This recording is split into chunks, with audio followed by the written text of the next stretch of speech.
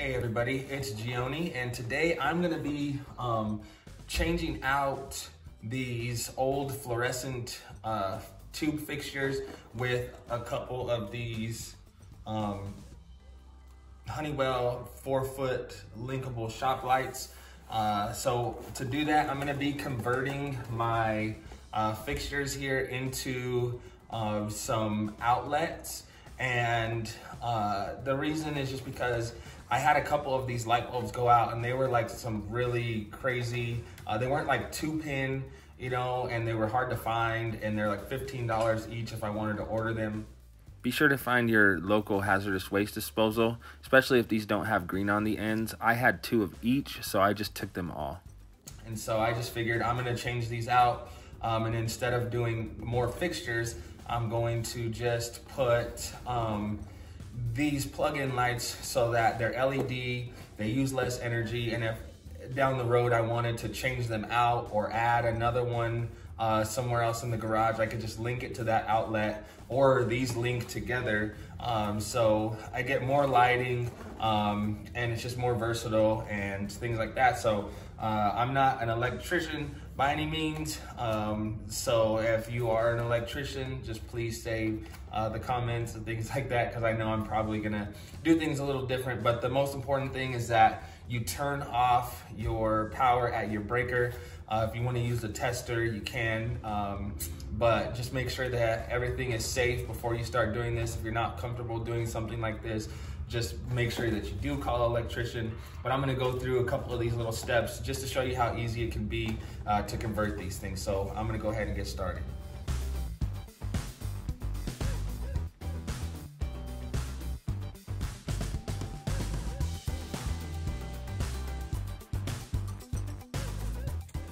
So from doing uh, one of these, I realized that I kept trying to unscrew it like for so long and um, it wasn't coming out. So I came up here and realized there's like three inches of uh, toggle bolt here.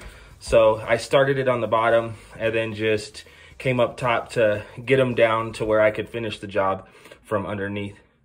Now that I have the black, white, and the ground out from the fixture and the fixture is off, I can go ahead and pull these wires out and remove uh, remove this and get ready to uh, put in one of these two gang. And the reason I use a two gang, even though I'm only using one outlet, is to make up for the extra space of this uh, size of hole.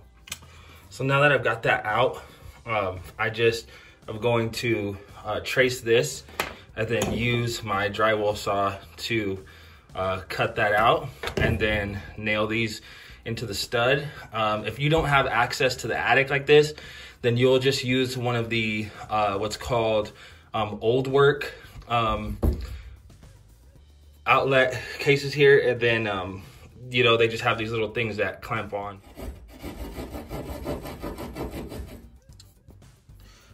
So now that I've got this installed here, I'm just gonna take flathead screwdriver and my hammer and just kind of knock out a little slot here. Doesn't have to be super big for the new wire.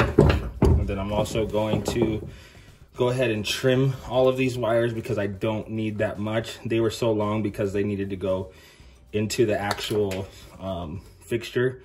So um, I'm gonna go ahead and cut those and then feed these through.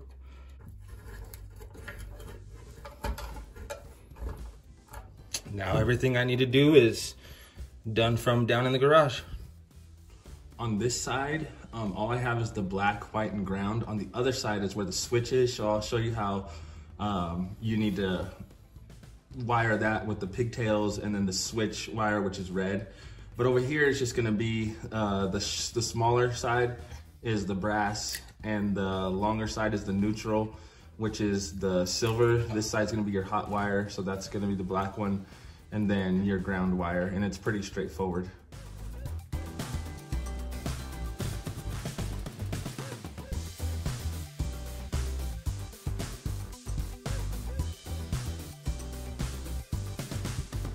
So this is the part where I was talking about having the red wire. Um, And I actually did this one a couple weeks ago just because I needed lights in here and I was running out of time, but they didn't have these uh, fiberglass uh, nail-in ones.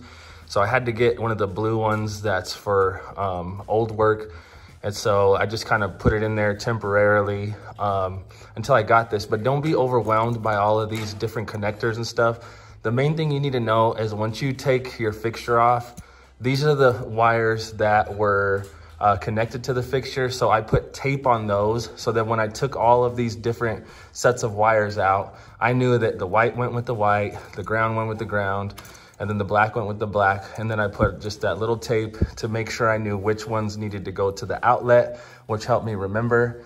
And the red and the black were originally um, in uh, wire nut connected.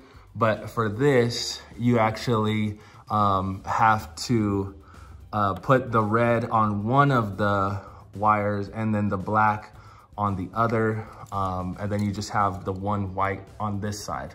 And that's because this is uh, your switch, which is controlling uh, your power on and off. And let me add that I'm using these fiberglass ones uh, with the nail in just because they're more sturdy and this is a lot more uh, sturdy material than the blue ones. Just because this is in the attic area, uh, you don't want it to start getting really hot up there and warping or anything. So this is gonna give you just a lot more uh, comfort knowing that you have something that's gonna last a long time. It's also a really good idea to go through and kind of cut back uh, where you were connecting um, the connectors on here just to make sure that you don't have anything break off later on and everything is just starting new and then taking some of these wires back just a little bit. And then I, you could get these in one piece on Amazon, but at my hardware store, I had to get it in two pieces and you just kind of customize. So if you have a light switch and then outlet on this side, you just customize it and so it leaves that empty space. So the last thing on this side is just to go ahead and put this in there and then uh, get our lights up. So here are my lights all hooked up, the face plates on there, and um, these were super easy to screw in there, didn't need a pre-drill or anything like that. You could put your chains however long you want, or you could flush mount them because um, it comes with that hardware as well. Um, these are super versatile. I might even eventually put another one back here or, you know, you could, you could put these on the actual outlet or the lights can link together um, because they have outlets on the sides. Um, so just super versatile and uh, there's so much more that you could do with these when there's two outlets up there rather than a fixture. Could even put a fan or something on one of these. But um, yeah, I hope this helps some of you do-it-yourselfers at home. Uh, and if you have any questions, let me know. But if not, we'll catch you on the next one.